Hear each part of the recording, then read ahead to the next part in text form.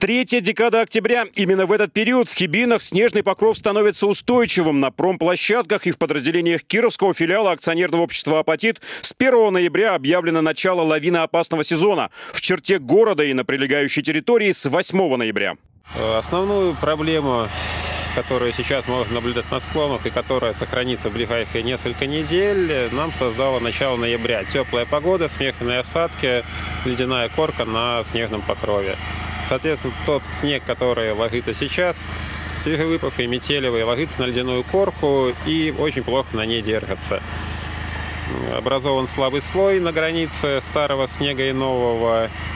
Этот период характерен для осенних хибин. Вот как это выглядит в тестовом режиме. Новообразованная тонкая снежная доска очень неустойчива. Исходит по ледяной корке практически самопроизвольно. То есть сейчас в горах малейшее внешнее воздействие может привести к непоправимым последствиям. Даже малая по объему лавина способна привести к чрезвычайным ситуациям. Хотим напомнить, что межсезонье является временем повышенной опасности. Рекомендуем отложить на данный момент походы в горы, обращать внимание на знаки, установленные на границах лавиноопасных участков.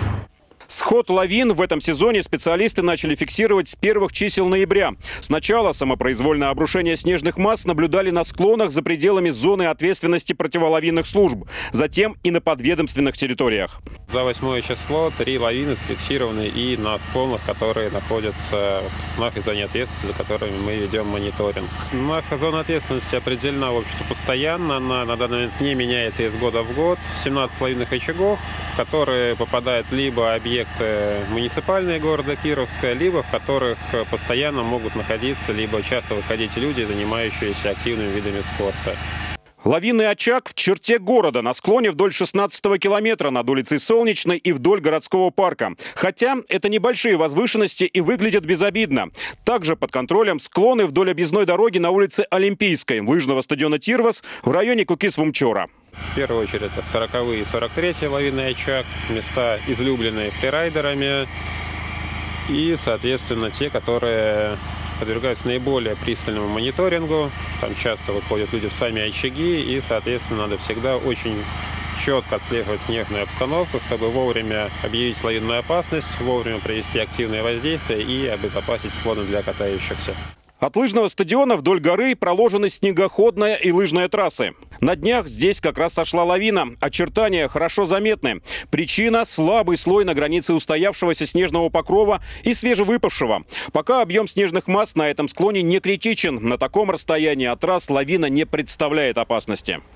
На данный момент э, необходимости в активном воздействии на снежный покров нет так как еще не накопилось достаточное количество снега. Но мы следим за этим, регулярно обследуем их, и как только наступит необходимая необходимость в этом, мы сразу же примем меры.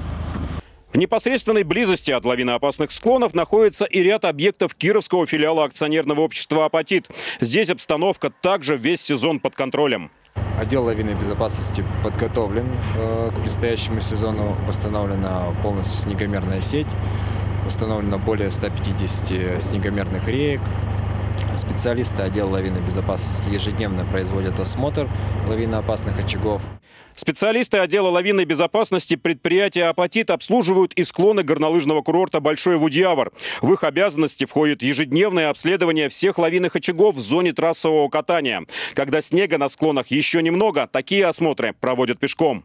Отслеживают состояние снежного покрова в ежедневном режиме, происходит снего, э, снегоизмерительная съемка, поэтому каждый день знаем, где сколько снега прибыло, где сколько убыло, какие снеж, снеговые снежные переносы есть на склонах и где могут потенциально опасные ситуации возникнуть, чтобы уже впоследствии произвести активное воздействие на снежный покров для того, чтобы обезопасить инфраструктуру курорта и гостей курорта от э, схода лавин.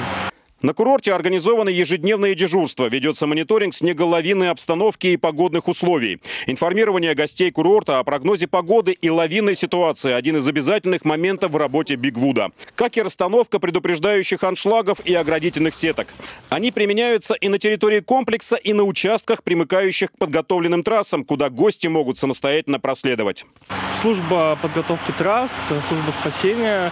а, Специалисты прошли ежег- традиционное уже ежегодное обучение перед стартом сезона, включающее в том числе работы при возникновении э, лавинных ситуаций, схода лавин.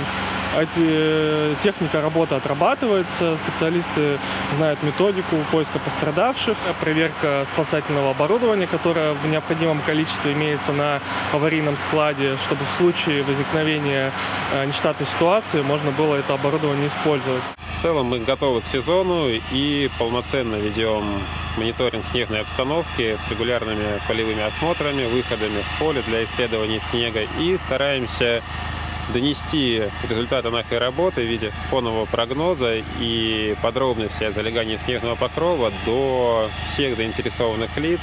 Ведем телеграм-канал, публикуем лавинный бюллетень на сайте города Кировска и всегда рады предоставить всю имеющуюся у нас информацию всем заинтересованным лицам. Чтобы сделать текущий лавиноопасный сезон максимально безопасным, муниципальной службой лавинной безопасности этим летом над всеми лавинными очагами были установлены дополнительные предупреждающие знаки. Это сделано в том числе для того, чтобы предупреждать об опасности любителей прогуляться там, где этого делать не следует.